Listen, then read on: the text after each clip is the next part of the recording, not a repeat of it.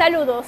Este es un avance de Noticias 51. Les informamos, señores, que hoy comienza en España el juicio que se llevará a cabo al futbolista Leo Messi de un supuesto fraude millonario al fisco de España.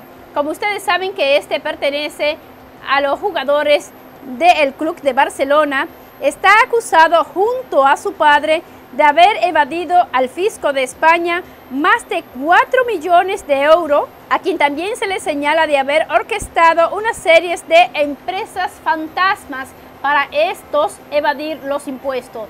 Se recuerda que muchos de estos contratos este lo firmó cuando aún era menor de edad, o sea que fue su padre que firmó la gran mayoría de estos contratos, con lo cual Messi se ha hecho millonario, pero que según las autoridades de España ha evadido sus impuestos llevándolos a ciertos países y en el último caso donde él se le ha señalado está también en la lista del sonado caso de Panamá.